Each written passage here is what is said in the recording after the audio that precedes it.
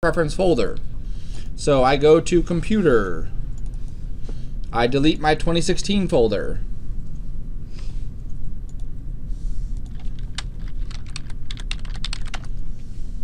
And I'm going to go into my oops, folder here, into 2510. And I'm going to copy this 2016 folder and paste it right onto the P drive. And then I open up Maya. Okay, that's the workflow every single time. So as you're working on stuff, if you need to write that down or tattoo it on your cat, do that. So you remember exactly how to do those steps every single time. All right, so now that Maya is open on my computer, I can't just open my file, okay? Uh, Maya likes to keep things organized.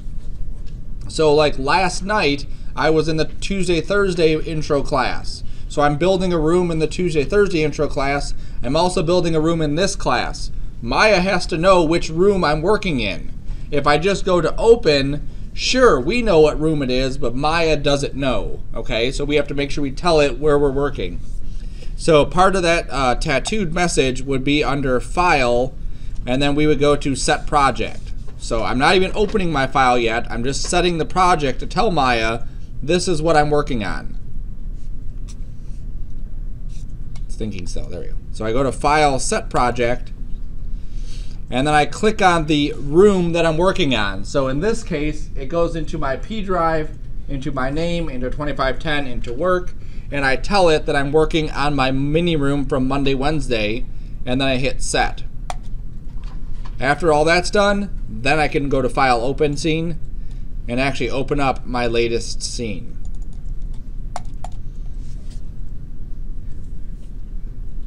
Okay, so you're processing that every single time you work in Maya. Copy your preferences, set your project, then open the scene. Every single time, not every other time, not as you feel like it, every time. And as you work, we need to stay organized because if we don't stay organized, stuff starts falling apart.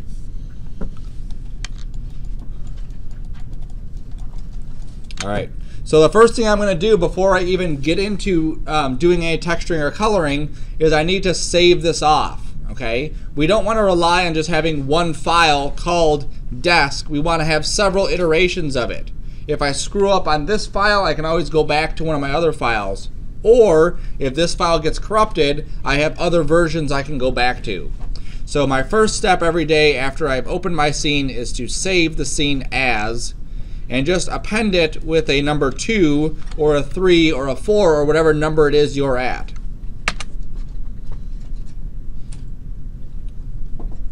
Okay, and again, this stuff is the automatic stuff. This is the stuff that by the time you've graduated from the area, by the time you're actually working in the field, these are the things you need to have done. Keeping everything organized, making sure your names are exactly what they need to be. All right. go here. I'm going to go there. I'm going to go to this. All right, so what we're going to do is we're going to play with um, some of the different materials. On your definitions sheet, remember your test for your definition sheet, or your test for the definitions is uh, next Wednesday. Um, we have several different materials that are on this list, okay? One of the materials is a Blinn, another one is a Lambert Phong, and then a Mia is on here too. So we're going to talk about what those actually entail. So what I want you to do is grab any item in your scene. I'll grab my coffee cup. And you're going to just hold the right mouse button down on that object and then go down to assign favorite material and then go to Lambert. So I'm holding my right mouse button down on my coffee cup. I'm going to assign favorite material and then I'm going over to the word Lambert. Okay, now what happened was when we went to Lambert, you may have noticed that the right side of your screen changed. Okay, before it was this guy, it was the layers or the layers here and the channel box there. And what happens is it opens up what's called the attribute editor. Okay, so your hotkey for attribute editor is Control A. Yes, sir. Okay, so it's annoying for this thing to happen. If I hit Control A on and off, on and off, you see how it's resizing my screen and it's pushing everything over. That's super annoying to happen. So what I like to do is I like to make sure the attribute editor is open with Control A, and I like to just drag it off the screen. So I'm just going to click and drag so that it's floating now so I can move it wherever I need to move it. All right, so now as I open up the attribute editor, I don't need to worry about it. Now up here, I'm gonna leave it in this window so we can see it. But again, typically I throw it off onto this screen here so that I can see my entire window. All right, so typically it'll be off to that side.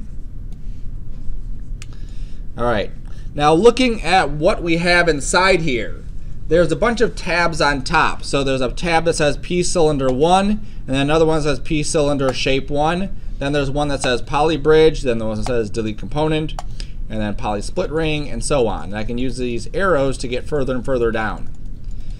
The attribute editor is essentially everything that has to deal with that object that we have selected. So I used my cup and I assigned a Lambert, so it just automatically opens the attribute editor this stuff that's in here is all the history that went into making it. So remember last time I showed you making this cup, how I could use that bridge tool to bridge this gap right there.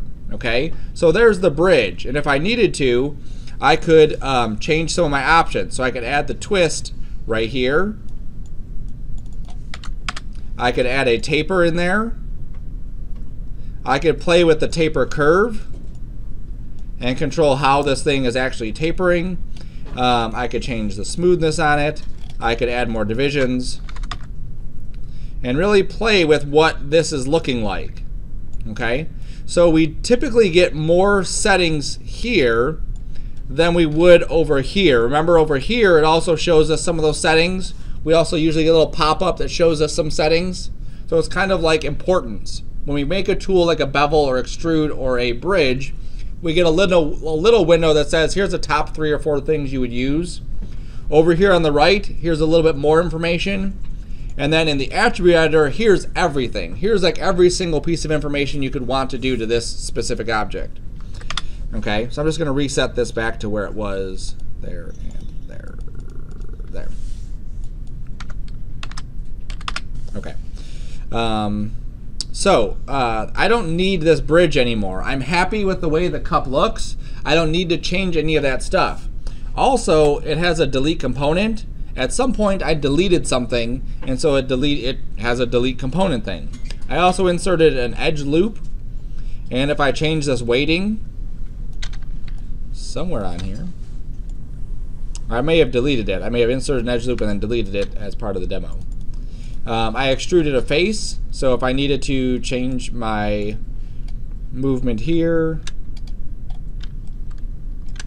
there it is, oops. So you can see how I can adjust what that um, extrusion was, okay? But I'm done with all that. I'm done with moving any of these things around. I like the cup exactly the way it is. I don't need to adjust any of those other things. So what I want you guys to do, because I'm going to do it too, is we're going to hit the delete history button that we created a few days slash weeks ago. Okay, so we hit the delete history button, or we go to edit, delete by type history, and it'll do the exact same thing. So now all of that other stuff that we had, the poly extrude face, the bridge, the beveling, if we had any beveling, the deleting component, inserting edge loops, all that stuff is gone. Basically like Photoshop, it's flattened this object into exactly what we see. So there's no way for us to go back and edit the bridge or the extrude or any of the other stuff. Uh, we could still move points around, we could still tweak the shape, uh, but everything else is just kind of like flattened out. So typically after you're done modeling something like this, or like the chair, you can see how much stuff is on the chair. All of these tabs here that went into creating that chair, all the way back to the original cube we started with. I don't need it, so I could delete the history on that too. Okay, now I want to show one thing before we get into doing anything with the cup one or whatever one you selected. Um, on this chair, we have four tabs. Okay, on the cup, we have three tabs. All right, we'll see where the other tab is in a second. The far left tab that's on here, this is called a transform tab. And its whole purpose is movements, rotations, and scales along with some other properties. So again, these are like the top 10 things that you would typically need to do to a surface. Here are those top 10 things. display has the visibility down here. Um, and then we also have stuff like shear, which maybe I need to shear the chair a little bit just to kind of give it a little bit of movement like that for a Dr. Seuss book or something. I don't know what. I've actually never used the shear. I don't know why it's there. Uh, we also have things like pivots, so we could move the pivot in here, but I um, very rarely use that. Uh, some of the other stuff that's kind of neat are these drawing overrides. If I go to drawing overrides, I can enable an override and I could say I want this to be shown as a bounding box. Okay? And with this as a bounding box, what it does is it just says, I'm going to draw the extremes of this shape. So it's this big by this tall, that's what I'm going to draw. So imagine that we had not one chair, imagine we had a stadium. Okay? Just opening the file would take forever. Rotating around the file would take forever. So we could do a drawing override on the entire heavy duty stuff and just make it boxes and that will work a lot quicker okay especially when you get into like animating things it goes super slow when you have all this heavy geometry um, for this class there's not a whole lot of stuff we need this for but just so you know there's some extra stuff inside here so there's lots of different tabs that are inside of this window um, that will help us along the way as we get further into Maya.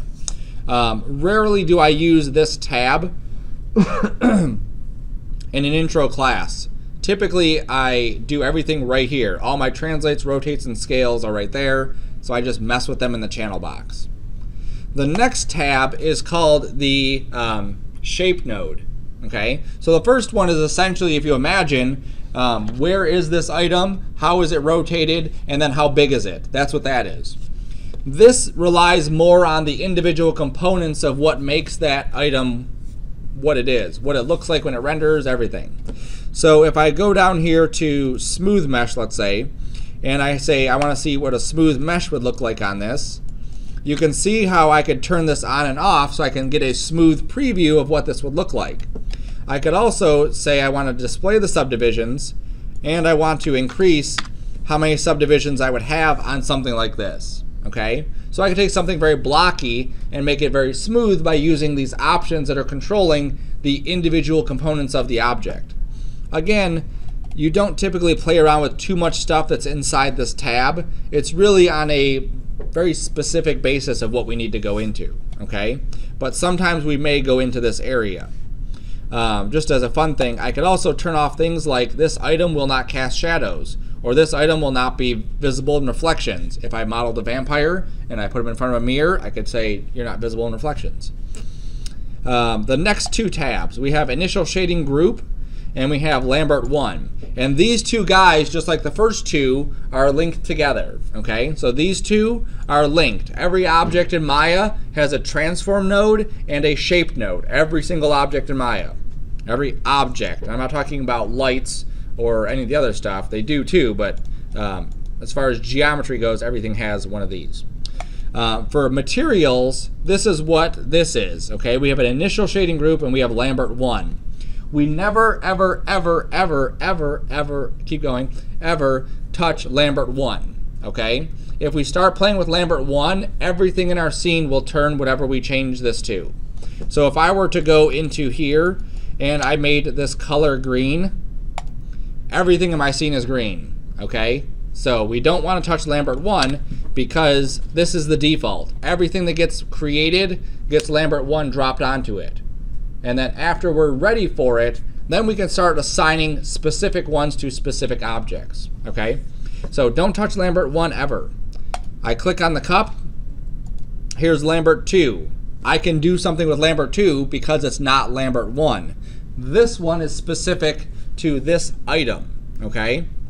So um, I'm just going to go to the color here, and I want you to go to your tab that says Lambert 2. I want you to click on the color swatch and just pick a color.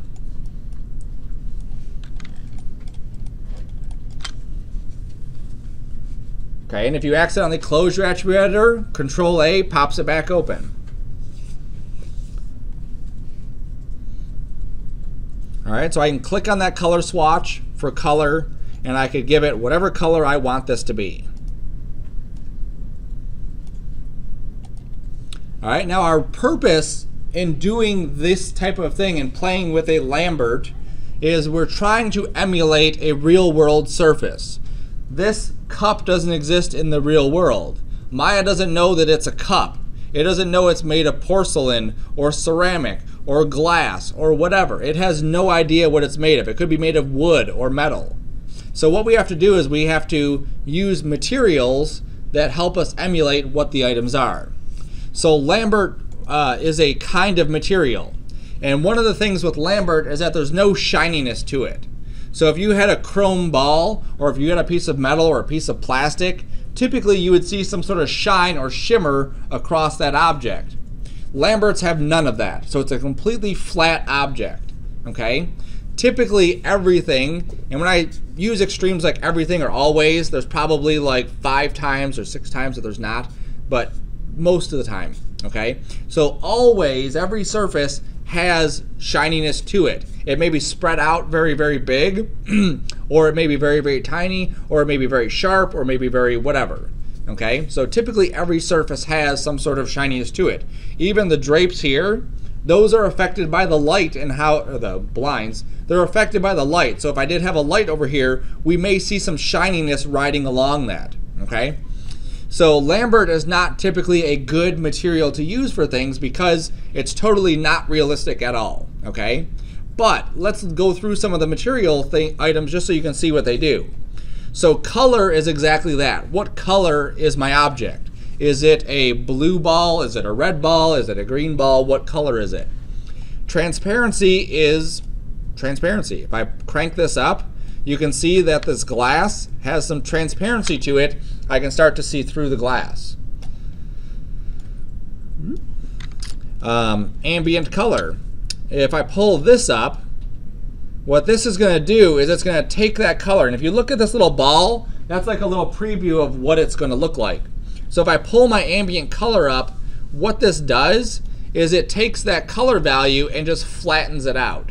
So instead of this looking like a nice round ball, it's basically imagine that I lit up an object evenly from every single side. It would look like something's perfectly flat. There's no contrast from the side to the front.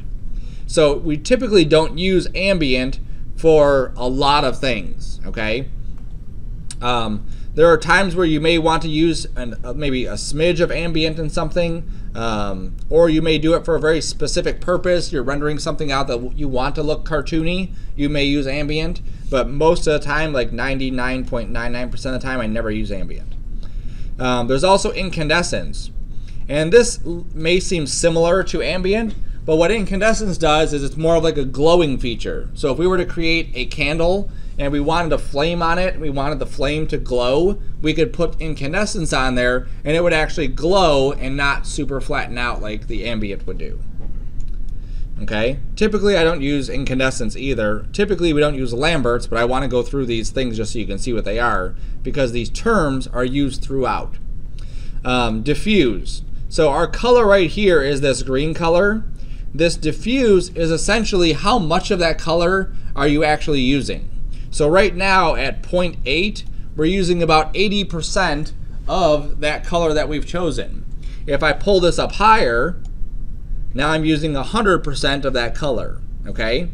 Now this becomes important for certain things like uh, chrome, okay? So if you were to look at a mirror, what color is a mirror?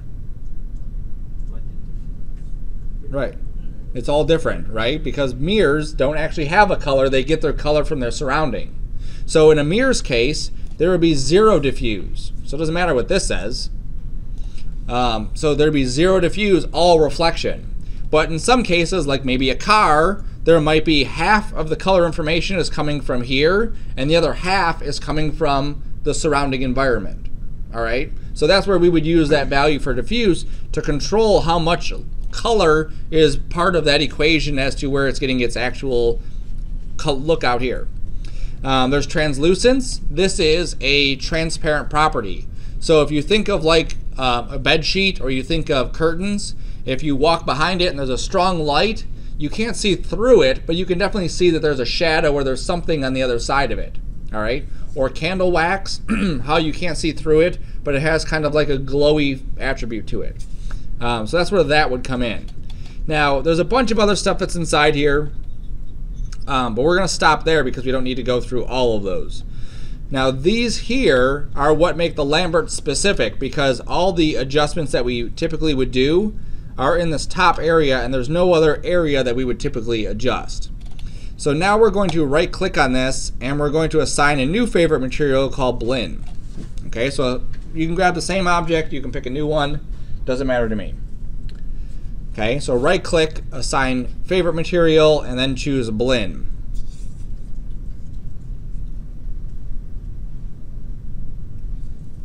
Okay, now Blinn, if you look at the little icon for it, um, the Blinns icon, if you look at it, it has a little bit of sharpness to it, right? It has this highlight happening right at the center of this. So the Lambert, no highlight at all. This Blinn, we actually do get a highlight, okay? Now if you look at the top section of this, you'll see that the top section is identical. Color, transparency, ambient, incandescence, diffuse, translucence, and so on. But then we get this other section called specular shading. And the whole reason behind this is we're controlling that big bright spot. Like what does that look like? If this is a piece of hard plastic, that bright spot might be super sharp. If it's something that is maybe like a brushed metal, it may be spread out a bit, okay? So these settings here allow us to control what that looks like. We can also control how much reflection. Um, there's very little reflection, there's a lot of reflection okay? So we can play with those settings. A Blinn is typically used for hard plastic materials, okay? Something that has a very spread out um, specular because we can have a lot of control over what that looks like. All right, so now we're gonna right click and we're gonna go to assign favorite and go to regular Phong. Not Phong E, just regular Phong. Okay, and just like Blinn, we're going to see that we have a highlight right at the center of this. and the highlight right at the center of this um, is controlled differently. Again, the top section is all very similar. And then the bottom section, we have this one control for what that looks like. On the Blinn, I had two controls allowing me to control what that specular uh, shape looked like. Here, I just have one. Typically, I'll use a Phong for something that is more metallic, okay? Now, like I said before, I typically don't use Lamberts. I also very rarely use Blinns or very rarely use Phongs. But that doesn't mean that once you get out in the world and you're doing stuff that the company you work for may rely on those. Okay? The next material I'm going to show is something that is more realistic looking and it's something that you would use if you're doing photorealistic type stuff. Okay? For these, these are all fake. When we watched that tin toy animation, when we watched the birds, we watched all those, all of those were created using these kinds of shaders because at the time the computers couldn't handle realistic stuff. It was just like, we're going to do our best to fake it. And they did a really good job faking it with all of those. Um, but it was all fake stuff. The reflections were fake, the lighting was fake, everything. So um, we're not going to use any Phongs in this class. We're not going to use any Blinns. We're not going to use Lamberts. But it's important to know those in case you ever do need to use what those uh, names are. So now we're going to right click on our object and we're going to go to assign new material, not favorite, we're going to assign new material. Okay, this populates a huge list that we can choose from of things.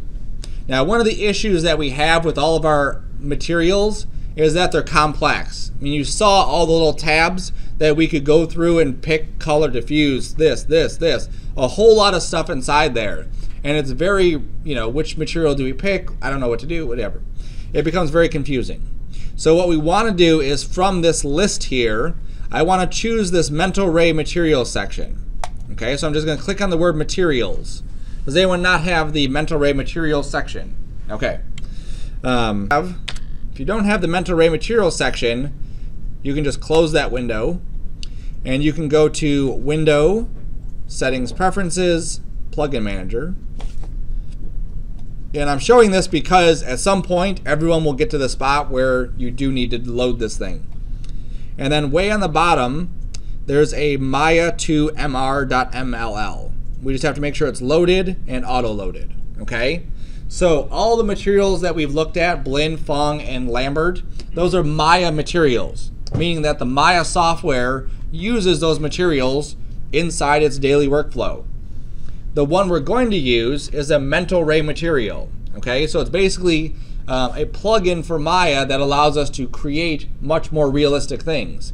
Like when you drop glass inside of a Maya software one, it doesn't look like glass at all. Okay, but when we use the mental ray one, it'll look a lot closer to glass, and then we can nudge it and get it a lot better. Okay, so that process again, just so you can see it, Window Settings Preferences plugin, and then we find the Maya 2 MR, which is Maya 2 Mental Ray, and we just load it and auto load it. And then we just close. Then we can right click and go to assign new material, and then we should see Mental Ray in the list. Now it's there? Cool. All right, so once we have this, all of these are Mental Ray specific shaders, okay? So that means that these are made specifically for Mental Ray. If you have Maya at home, you'll need to find Mental Ray for Maya plugin and install that into your software also so that you would get all of these things. Okay, it's free. You don't have to pay a single thing for it um, except for some download time. All right, so inside this list, we're going to pick the most colorful one, which is this MILA, which is a Mila material. All right, so the Mila material, it pops open with this first tab. Remember the Lambert had two tabs? Okay, every material has two tabs to it. One of them is a shading group.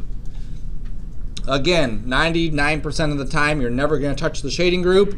Randomly, you will. You'll get a job where it's like, oh, I need to go into that and just type in some values or do something specific. Most of the time, you don't need to play with it. The other tab, so you can click on the right tab, this is the material. Now your first indicator um, or first sight of this, you're thinking, holy cow, this is much more simple than the other one. How could it be much more realistic? All we have is one color choice and one slider. What material or what uh, color do you want this and what's the roughness? There's some stuff down here, but that's not you know anything we're going to play with. So pick a color from the list from the color. And then what we want to do is we're going to render this. So I'm just going to scoot out a hair. There we go. And I'm sliding my attribute to the other window. All right, so we want to render this so we can see what it looks like. In your very top bar here on the very, very right side, they have this little clapper. You know the clappers where they have those like action, you know, take four type things. That's what these are. So there's one that has an eyeball. You don't need to click the one with the eyeball. You're going to click the one to the right of the eyeball. Okay, so don't click the clapper with the eye. You click the one to the right. And remember, if you don't see it, it might be hidden behind one of these little arrows. All right, so what does your object look like? It's gone, right?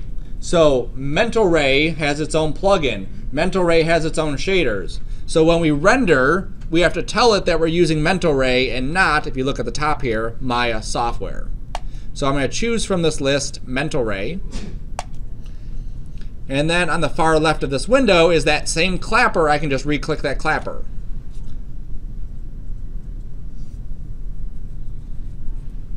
Okay, so now we should have our object actually inside of our scene.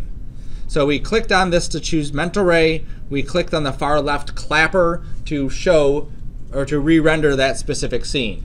Okay. Now, just like everything in Maya, I try to whittle it down into what you actually need to know. There's 7 trillion buttons. I want you to see the buttons I'm constantly using over and over and over again. Okay? So inside here, there are five buttons that I will typically use. These first three, and then these other two. So the first one we've already done. Hit that and it renders everything that we're seeing, okay? So if I remove if I spin my camera around like this or zoom out or whatever, I can hit that render button again and it'll just re-render what I did, okay? So now I want to, let's say I just changed the cup color, all right? So there's no point in rendering out everything inside the scene. I only change the cup color, so I only want to see the cup. So if I draw a box around the cup, like that, I'm going to go change my cup color so this actually looks like something different. There we go. And then I'm going to click the next button, which is this render region. And when I click on that render region, what it does is it just renders what's inside that box. Okay? So it becomes very, very quick uh, in order for me to render stuff out. Um, down here on the bottom, it says render time. My old render time was four seconds. This render time is one second. So obviously, I've sped it up by just rendering this one area. Some of your renderings, when you click that button, it may take an hour to render out just what we're seeing here. For this class, it shouldn't be an hour, but you do get to those those points where it does take an hour, or two hours, or three hours. Um, I've even had it where I will render like that much and say render region, and that would take an hour. Okay, um, depending on what you have in your scene, these things can take a long time. So we want to maximize our stuff as best we can. All right. So the next button here is snapshot. So what this is, it's kind of like progressives, but not really. Um, it takes a wireframe snapshot of our view, and then I could marquee an area and then do a render region. That way I can just, I don't have to render the entire thing and then do this render region. I could just say, let's do a snapshot. Let me grab the cup. Let me do a render region. And then we're good. Okay, so those are the three I use on that side. The other two that I use are right here. And these are super awesome tools because they allow us to save a snapshot and then review a snapshot, okay? Or save it and then remove it. So let's say um, I rendered the whole screen here. And then I want to change the cup color. So I'm going to go to my cup color here. I'm just going to pick a different color. There we go. All right, so I'm going to marquee an area. Now before I go and I do my render, I want to compare. What did the color look like before? What does it look like now? And that way it gives me an idea of what's going to look better. So I'm going to say before I render this, keep this image and then render my new image on top of it. So now I get this little slider bar and I can compare which color looks better. Okay?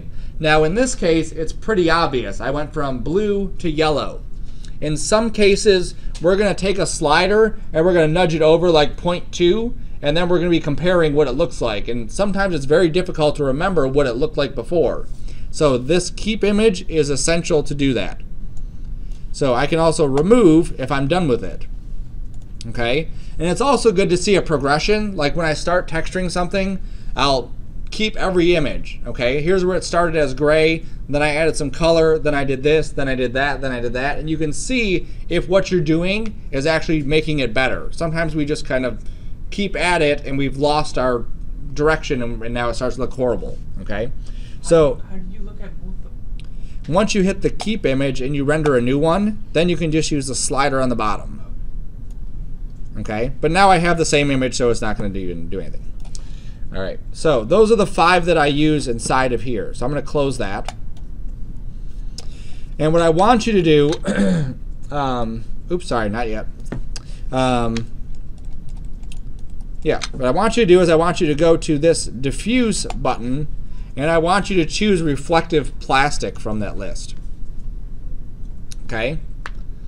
So this is one of the neat things about a Mila is that it's basically like you make one material and then based on that one material you can choose what kind of material you're trying to, to emulate okay so here I want a reflective plastic so when I chose from diffuse to reflective plastic now I get more options and if I'm in my scene and I render this out again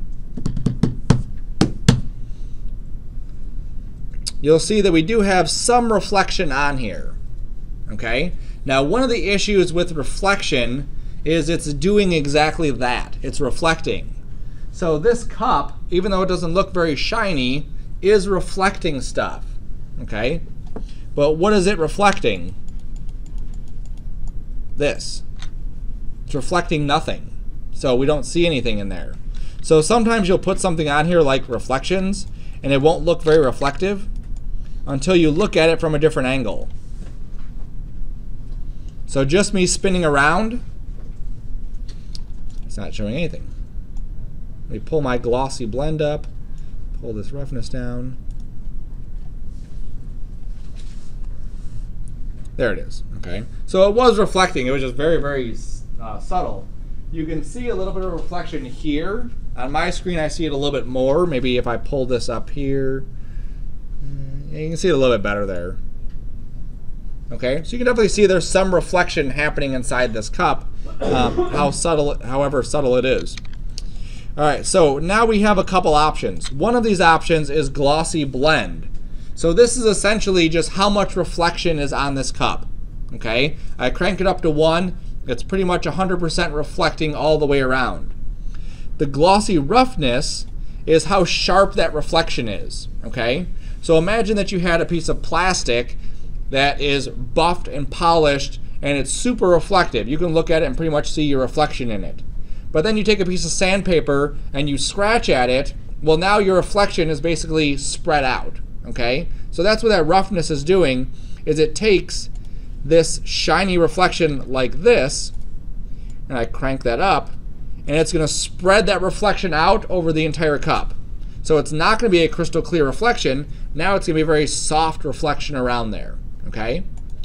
This bottom number is the, it's called the IOR. It stands for Index of Refraction. And it's essentially when you look at, and you can do this while you're driving, while you're stopped at a light, not while you're driving, when you're stopped at a light, is you look at the car in front of you or to the side of you or whatever, and look at the reflections. Looking head on at the reflections, you get different reflections than you see going around the sides of the car. Okay? So that's what that index of refraction controls is how those how those reflections are affecting us, okay? How strong they are head on, how strong they are on the sides. and we can play more with that kind of stuff. All right, so what we want to do is before I move, oops, The wrong button. Uh, before we do anything else, we want to name this. Every single material, just like every file, should be named. So I'm going to call this cup underscore Mila. That way I know it's a cup that I have assigned this to, and it's a Mila.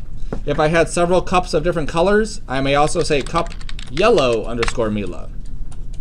That way I know this is a cup, it's a yellow material, and it's a Mila. Okay?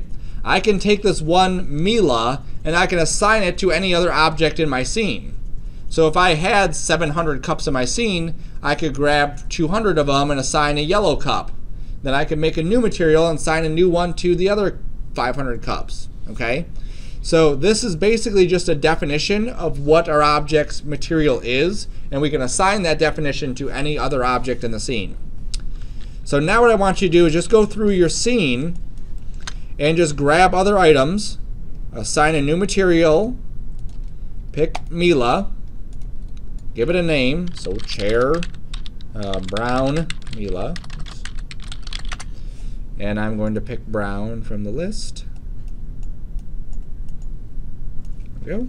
And I'm going to change this to reflective plastic. And I'm going to pull the glossy blend down, pull the glossy roughness up. And there we go. So you're going to go throughout your whole room and the walls and everything else and just assign flat coloring right now to each one. Make sure you name your stuff. Um, we want to save often, number one. And number two, we want to choose up here in this renderer. See where it says renderer right here? We want to choose legacy default viewport. Okay? That will make everything red. That's better than stuff crashing. Okay? So we just have to know that my chair is brown because I've chosen brown. But when I hit the render button, it still shows up as brown. Okay? In the viewport in our Maya file, it's going to look red here but we don't care as long as it's not crashing. Okay?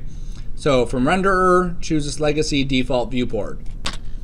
All right, so it looks like everyone has at least a couple objects that are textured. Um, we can continue that same process because everything that we do, it's the same thing over and over and over again. Um, also, so you're aware, there's a certain workflow that certain people will adapt. Um, for me, I enjoy doing all my modeling and then doing all my texturing as two separate items. Some people will model texture, model texture, model texture. So as we were building the desk, some people would have modeled it and then textured it right away, and then modeled this and then textured that right away, and then done each one of these things the same exact way. So all right, so um, another thing that we may want to do is we may want to assign something besides a flat color to our object. most items in the real world have more than just a flat coloration to them. Um, even like this pen here, if we wanted to put this pen on my table, sure, it looks pretty white, but there's also like labels on it. So I may want to put a label on my item. Also, if we look very close, there's probably like, not in this pen, uh, but there might be like scratches or scuffs or bite marks or something on there that maybe we want to add into that as well. Um, so what I'm going to do is, let's say my computer screen here, I want to add a picture to my computer screen. So, um, and a couple of you already kind of figured this out, is that we can assign things just to faces also. So if I just go to faces and grab this, I can assign a Mila right to that face. And so right now it's just white. Let me save my scene just so I don't crash. Oops. And go back to Mila, and then I'm going to say TV screen. All right, so what I need to do is I need to bring an image inside the color so that it's not just a flat color. So I'm going to go to uh, Internet Explorer, and a website that you can lock into your brain is called textures.com. You'll have to register for it. It's a free registration, um, but it is the best resource for getting textures for things. If I needed a picture of something, I go to textures.com and I use the, this to get my pictures. So I'm just going to log in really quick.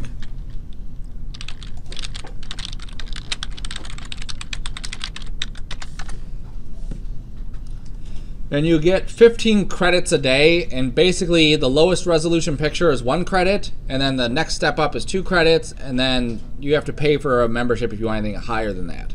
So for this one, let's say I'm watching on my TV, I'm watching a bird. It doesn't matter, but Dodo, sure. Uh, where'd you go? Did I pass it? There he is. Thank you.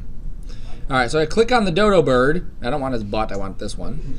Um, so this one is two credits. You can see right here, two credits, 1600 um, by 1350. And here we don't care about actual resolution. I don't care about an 8 by 10 at 300 images or 300 DPI because I'm not rendering it out or I'm not printing it out. Uh, all we care about is actual pixels. So typically you want to grab the biggest one that you can find. Um, in this case, I may want to use download more than 15 pictures today, so I'm going to grab the smallest one that I can. Um, especially because it's going to go on a small item, I'm not too concerned about it. So what I'm going to do is I'm going to go to my download area. There it is. I'm going to cut this image, and I have to put it in a very specific spot so Maya can find it. So inside of my folder, my project folder, we have source images. Remember I said we're going to use three folders, images, scenes, and source images. This is where I put all those images. Okay, there's a 3D paint textures, ignore that. It just goes right inside of source images. And so now when I come back to Maya, I need to find a way to add a texture to this. So if you look at the far right of the color swatch, there's this little checkerboard. Any checkerboard means map. It means you can connect something to it.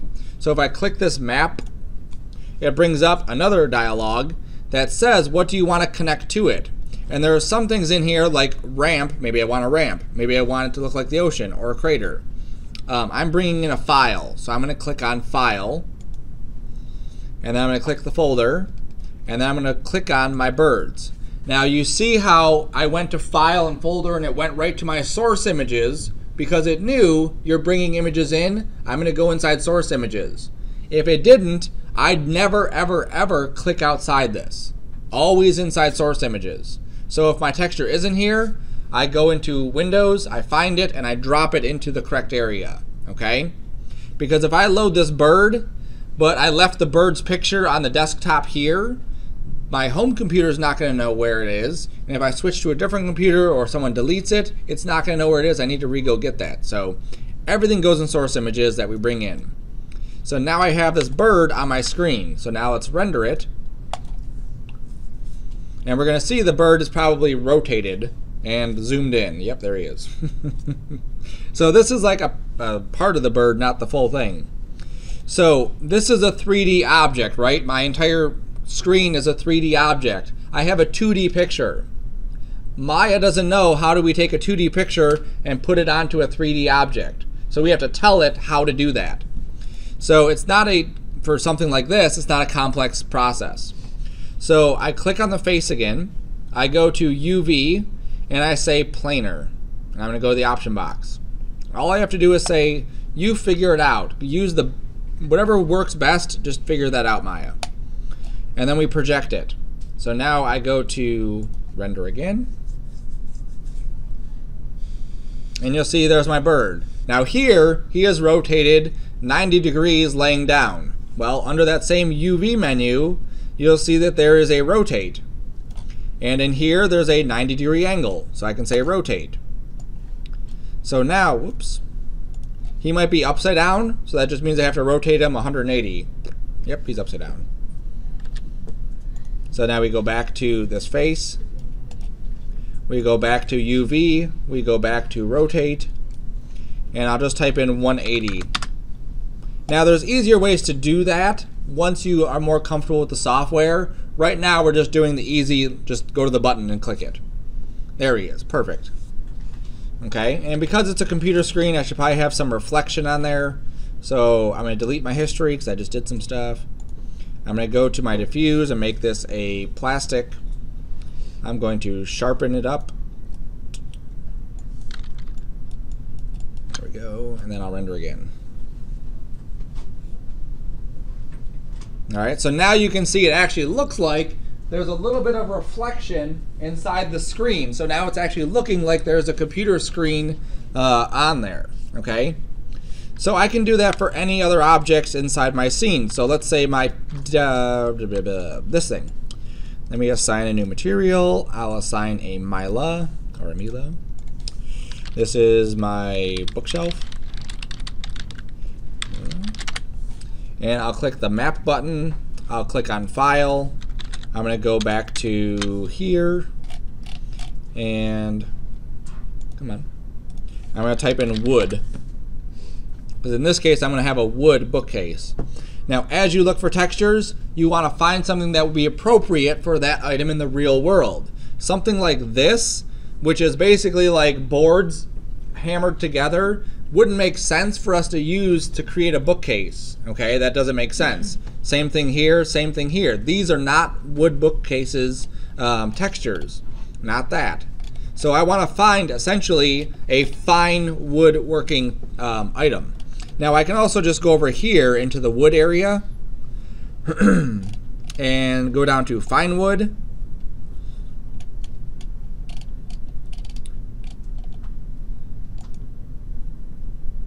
may have gotten rid of it, but they had another subset that said finished wood. Uh, so something like this could work. Something like that, something like this, that actually looks pretty good. All right, so I'm gonna click on that one. All right, now you'll see that this one right here, it says seamless, okay? So what may happen is let's say we have a, um, a floor that we want to be this kind of wood. If we had that picture of wood on the floor, what it would do is it would stretch out to fit. So this picture, because this is just a picture of like a flat piece of wood somewhere, in the real world is probably like this big. But in Maya, we're stretching it out, so it looks horrible, right? So what we do to correct that is we repeat it. We take that pattern and we repeat that pattern over and over and over again to make it look like it's bigger than it is. So having this be seamless um, is important. Now in order for it to work, what we have to do is the left side of the image needs to match up perfectly with the right side. The top of the image needs to match up perfectly with the bottom of the image. So here I'm able to zoom out just to preview what this would look like if I repeated this over and over and over again. And you can see overall it actually works pretty good. You can definitely see the repeats. You can see this pattern in here where we have the same item over and over again but we would never ever ever typically look at the flooring like we are here usually there's stuff on it there's desks there's tables there's whatever so um, I like to make sure that I grab if there is a seamless one grab the seamless one So I'm going to save it. I'm going to open my folder. I'm going to cut it.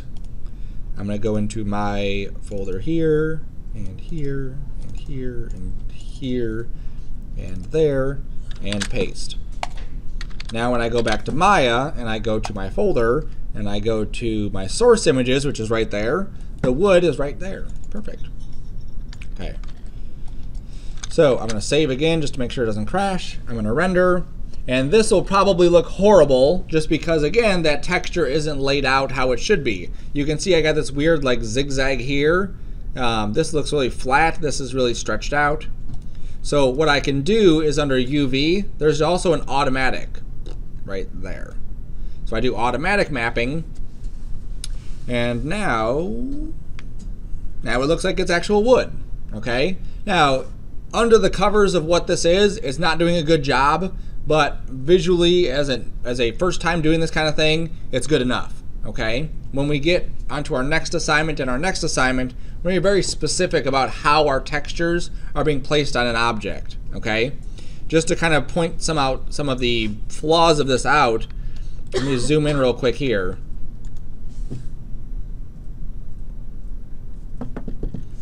So you can see in this case, the wood grain is going that way and this is going this way. If this was an actual piece of wood, maybe this wood grain here would go up and down. Okay, just like this one is going left and right because it's a horizontal piece, this one would most likely go up and down. Okay, just to make it look more realistic. Also, there would be some way that the, what we have in, in the real world, we'd have like notches or something cut in there, whatever. All right, but for this, it's fine. Oops. All right. So now what I want you to do is experiment with some files. Go on to textures.com, register for an account, and then download those files and then try them out. Make sure you don't go outside your source images folder for it. All right, so typically this is the flow we work with. We assign materials, flat colors to many things, and then those specific items we may assign um, actual materials the more realistic you want to go, the more materials you're going to have on your objects that have actual coloration to them. So if I go to this, CV environment.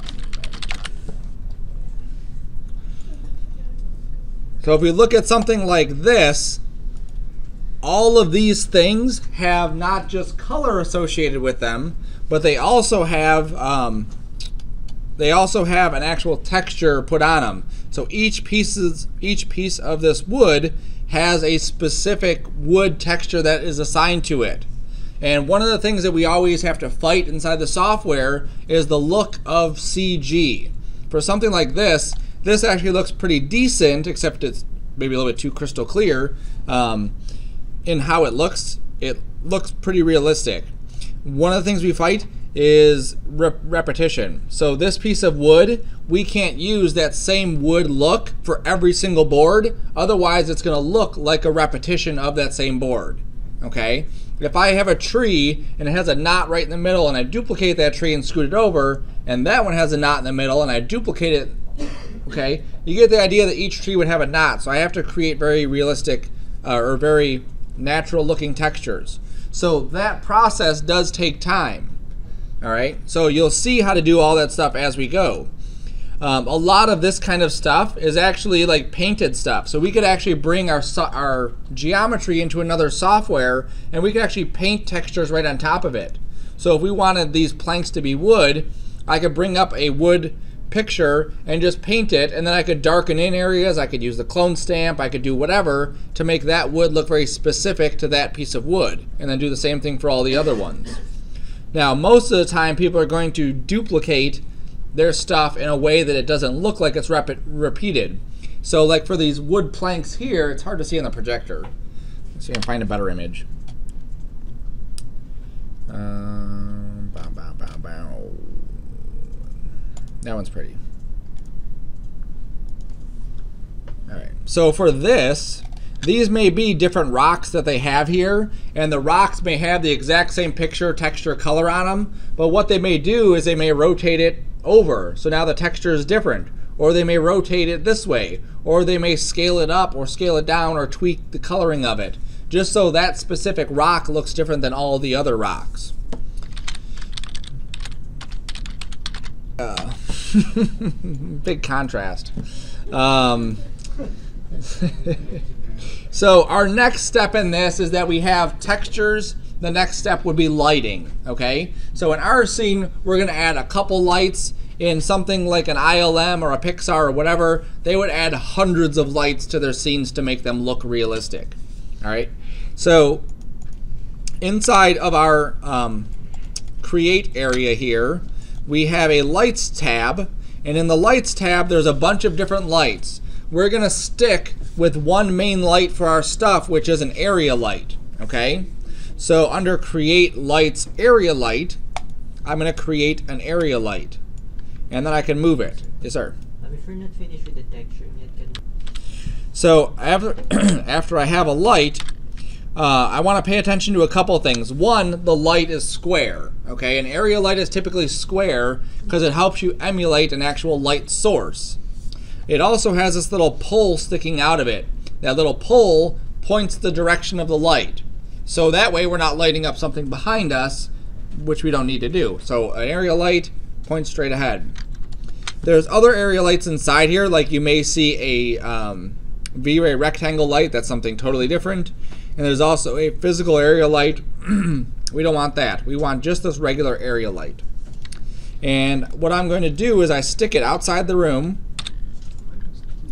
I'm going to rotate it. Not rotate, I'm going to leave it just like it is. Um, I'll rotate it in a little bit. Okay. And just like other stuff, I need to adjust properties for this item. So I'm just going to render it just so you can see. what we get. Okay, so one thing we get with this area light is we get shadows. Before we didn't have any shadows. Um, a default light is created at the startup of Maya, and until you put in a light, it's using that. That one doesn't come with shadows. Now these shadows look pretty ugly. They look pretty horrific. Now that's Maya's way of just dumbing the light down just so we can get an idea of what it's doing. And then when we're ready for the final image, it'll actually make it look nicer. Okay, so we ignore the graininess and the ugliness of that. Now we want to adjust some of our properties. One of the things that default lights do is they give off a constant intensity. Our light stop starts here and it goes on literally forever. So there's no like drop off to my light source. And there should be, because in the real world we have a drop off to our light source. So in the attribute editor for your light, you're going to turn on your decay rate. So let's change this to quadratic, and that will turn on our drop off. How did you get that? Control A. Okay, remember Control A will open your attribute editor. Now when I render it after I've turned drop off on, you'll see that my scene turns totally black. Because I have drop off, my light is just dropping off right away. It's like not enough light now to actually get to my objects. Yes, ma'am. Which light were we using? The area light. So under the area light, we've changed this to a quadratic decay rate. I'm going to then crank up my intensity. Mhm. Uh, how do you get to the area light? uh, create lights and then area light. I'm going to take the intensity up to, on mine, about 5,000. Okay? So we created light, area light. We changed the decay rate to quadratic. And now I've cranked up my intensity to 5,000, which ends up being way too bright. I'm going to go with 2,000.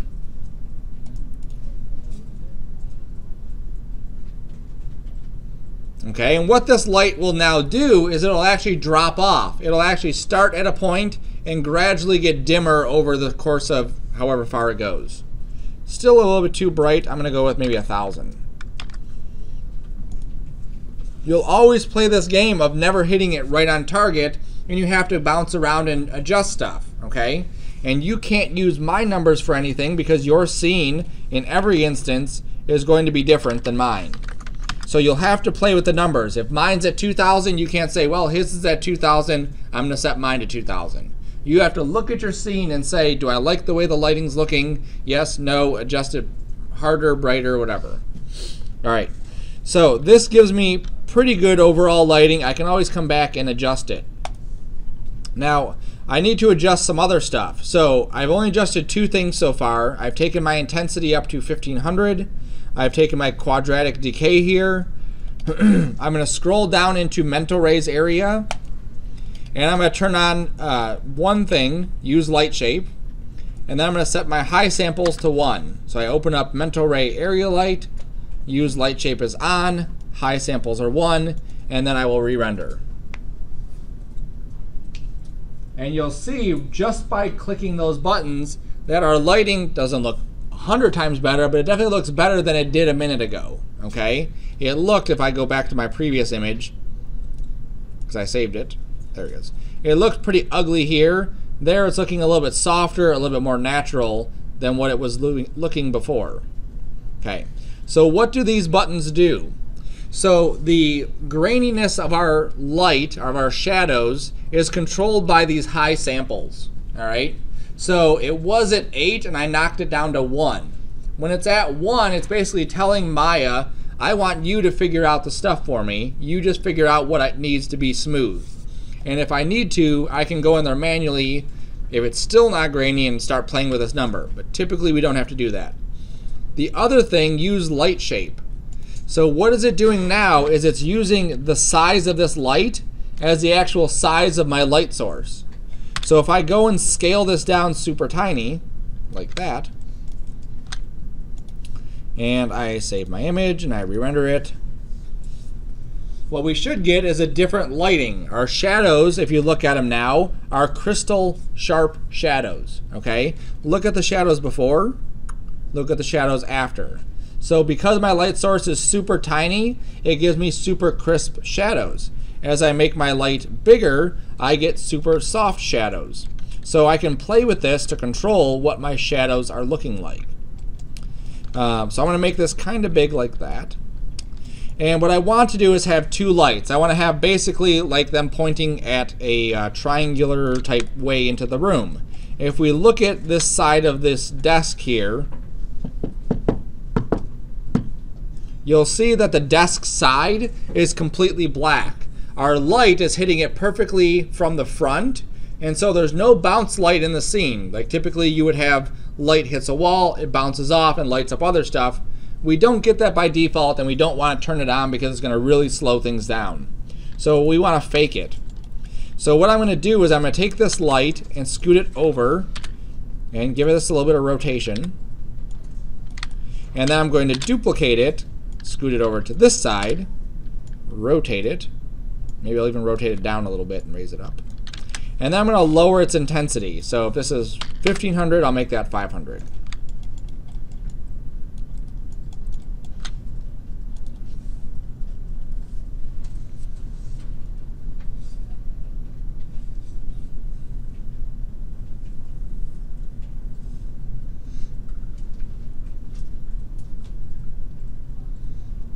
500 may be too little. Make it a little bit bigger. Just render that section. There we go. Okay. So I cranked that one up to a thousand, and that gave me probably a good enough number. Maybe 750 would have been a better number, uh, but I can keep playing with it. Okay. But the point is, is that I'm adjusting these things based on my need. I needed a little bit more light on this side. I added a light and pushed it into that area. Okay? So as you start to play inside Maya, you'll find these little things like, oh, I need another light here. I need another light there. I need this to do this. So don't ever think that your scene is ever completely 100% done. Oops. Make this a little bit wider. Um, there's always stuff we can do to make it kind of enhanced, make it look a little bit more realistic.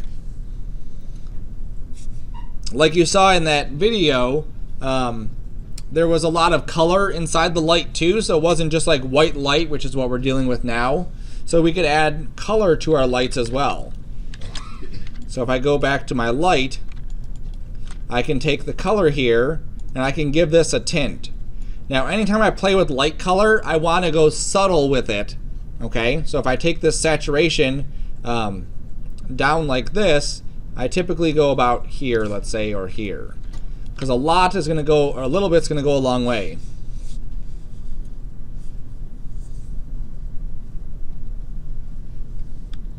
Okay. Now, it's hard to see because of the light color I picked, but it did color it some. So let me change my color to something a little bit more drastic, like red. And I save my image. I'm going to re-render it, and then we'll be able to see what this looks like. And you'll definitely be able to see it on the gray pieces more than the other ones, but there's definitely like a red coloration to this. Let me go back and forth so you can see it. Okay, so you can see how we were kind of in a green area. We were a little bit more gray back here, and now we're definitely in the red zone, okay? So we can keep playing with these settings and keep playing with these settings until we get something that we're happy with.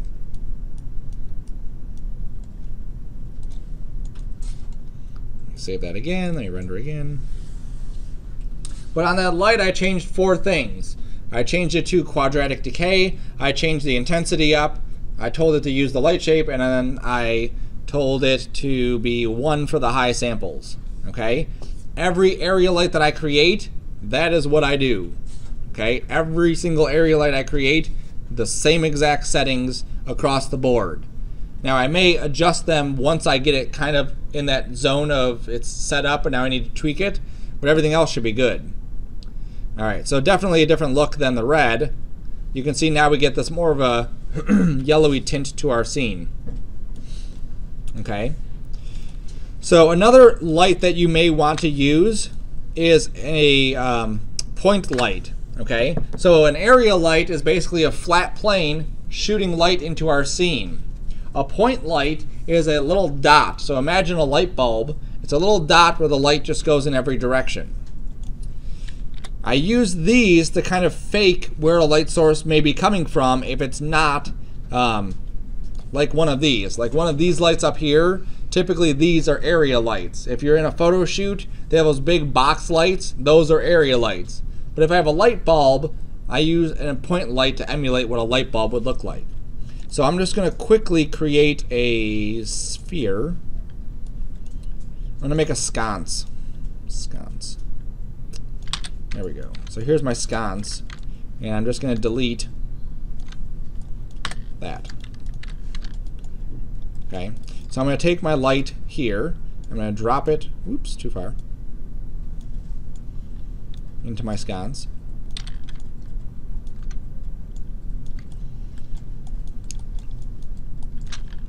I'm going to set the same stuff. So I still have a quadratic decay because every light, unless it's in some different universe, has a decay. So I'm going to set it to quadratic, 200 for the intensity, let's say, and then render. And then what we should get is light shooting up out of the sconce. And look at what we get, light shooting up out of the sconce. Okay? Same thing would apply if I just deleted the bottom of this. So if I went in here and I deleted the bottom of this and it was more like a lampshade.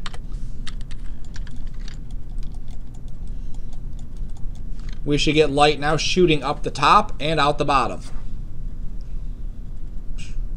Okay, now that 200 is really bright. That's why we have the sun right there. So let me take that sun down a little bit.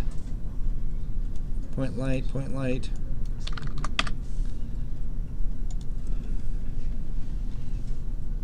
And you have to realize too, like what we're looking at. Like my area lights that are outside my scene, those are way too bright for me to have a light on in the house and make it look like there's a light on. Okay, if it's the middle of a summer day, our house is already lit up. Turning a light on doesn't have a huge effect, right? So we have to kind of fake, uh, or we have to guide our scene to making it look appropriate. Okay, so I'm gonna just knock down just to show you. I'm going to take these lights and I'm to knock this down to maybe like 300 here and maybe 250 there. All right, so now I have more of a dark scene, so maybe it's a night scene, and now my area lights are not my main lights. They're just kind of like filling in some of those gaps. And my actual light source, I want it to appear to be coming from this. And I think you get the idea that it looks very much like my light source is coming from the sun right there on the wall. Let me change that still. That's still like crazy hot. Uh, let's go with five.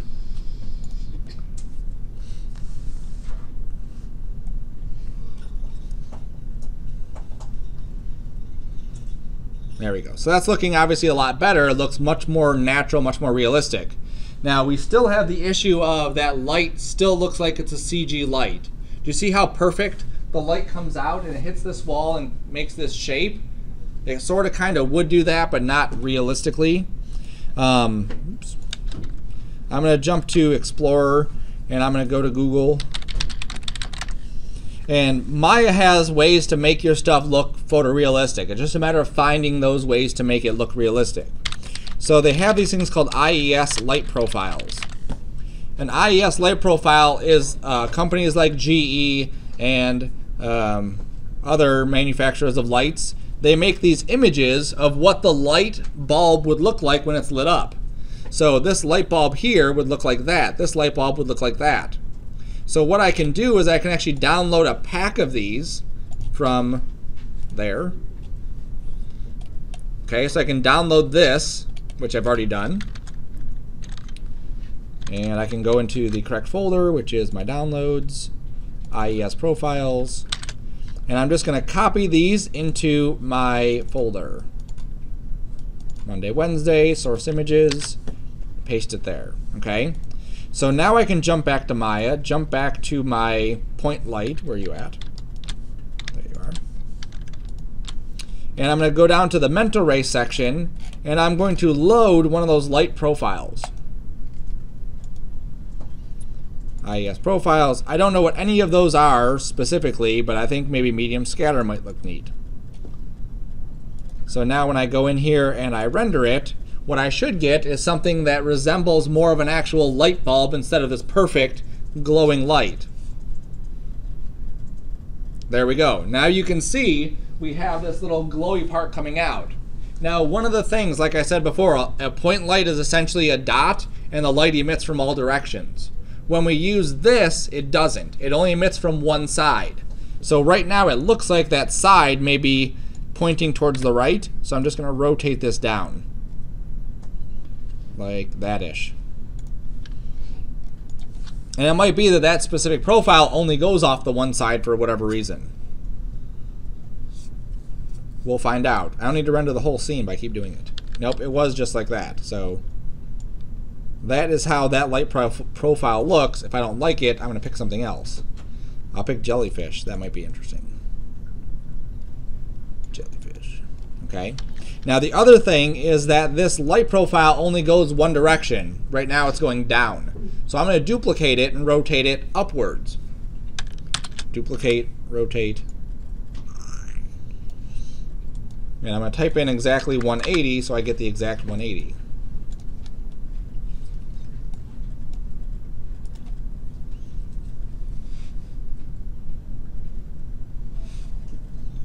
Yeah, jellyfish sucks.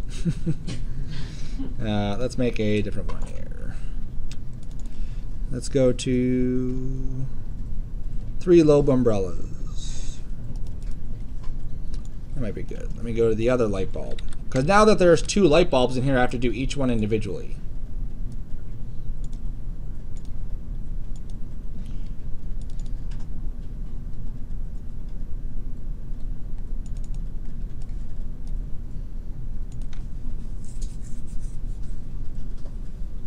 There we go. Okay, so now that those are obviously there, now they're a bit dimmer because of their profile, I can go in here and maybe set their intensity up to 30. So you see how this, you can't get into the, the process of thinking that there's going to be a click, click, click, and then you have Jurassic Park or Toy Story. There's a process. There's building things and shaping things and customizing things and tweaking them. That looks much better. That looks much more realistic um, for our scene. Now you imagine that we had that in a lampshade or we had it wherever, and again, we're pushing this to be more realistic. We're pushing it to look less CG and more photoreal, okay? So um, what I want you to do for the rest of the class is just play around with all those things we've done. Add some area lights to your scene. Make sure you understand those settings that we went over. You don't need to do the point lights. In most things, we're not going to typically deal with point lights at this stage. I just like showing them because usually people are like, I want to put a lamp in my room. And so that's how you can add a light to your scene. Um, play with the materials, adding textures on there. Um, when we come in next week, you should be at this stage of having all of your objects modeled that you want in there. And I don't want just the desk and the room I, and the uh, and a chair. I want other stuff in there. So easy stuff: a wastebasket, a cup on the table, uh, picture frames, whatever. I want the room to have some life to it. Okay. Um, have the stuff textured, have the stuff lit. When we come in on Monday, we're going to go through and we're